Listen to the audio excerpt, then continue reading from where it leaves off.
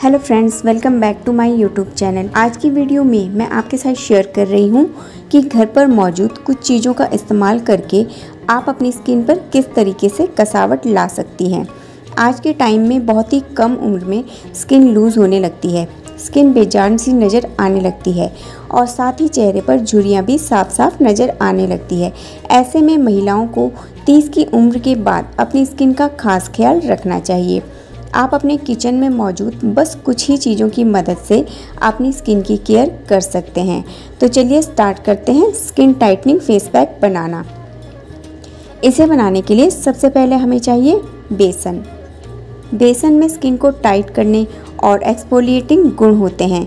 चेहरे पर बेसन लगाने से चेहरे के दाग धब्बे दूर होते हैं। ये नेचुरल स्क्रब का काम भी करता है। चेहरे पर आई टैनिंग को हटाने के लिए भी आप बेसन का यूज़ कर सकते हैं। बेसन के रेगुलर इस्तेमाल से स्किन टाइट होती है और धीरे धीरे त्वचा की रंगत में भी सुधार आता है। इसके बाद हम इसमें ऐड कर देंगे एलोवेरा जेल। एलोवेरा के इस्तेमाल से स्किन पर होने वाले फाइन लाइंस झुरियाँ कम होती है और त्वचा में कसावट भी आती है। एलोवेरा के इस्तेमाल से दाग धब्बे झुरियाँ और सनबर्न जैसी समस्याएँ भी दूर होती है। एलोवेरा में मौजूद एलोइन त्वचा की रंगत को सुधारता है और टैनिंग को भी रिमूव करता है। इसके बाद इसमें ऐड कर देना है आधा चम्मच हनी हनी के इस्तेमाल से फेस की क्लिनजिंग होती है और एजिंग की प्रॉब्लम भी दूर होती है। शहद में कई विटामिन मिनरल अमीनो एसिड और नेचुरल हीलिंग वाले गुण पाए जाते हैं, जो स्किन को रिपेयर करने का काम करते हैं। अगर आपकी स्किन ड्राई है तो शहद आपके लिए एक मॉइस्चराइज़र की तरह काम करता है। ड्राई स्किन वालों के लिए शहद काफ़ी यूज़फुल है। अब इसके बाद इसमें ऐड कर देना है एक विटामिन ई का capsule.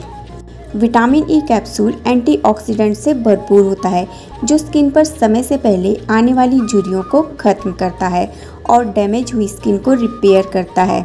विटामिन ई कैप्सूल के इस्तेमाल से स्किन पर होने वाले दाग धब्बे और एक्ने की समस्या भी खत्म होती है। इसके बाद इन सभी चीज़ों को बहुत ही अच्छे तरीके से मिक्स कर लेना है और एक पैक तैयार कर लें। फेस पैक लगाने से पहले अपने फेस को अच्छे से वॉश कर लें। अब इसे अपने फेस पर अच्छी तरह से लगा लें। लगभग 20 मिनट तक इसे ऐसे ही लगा रहने दें और फिर अपने फेस को वॉश कर लें। और इसके बाद फेस को मॉइस्चराइज कर लें।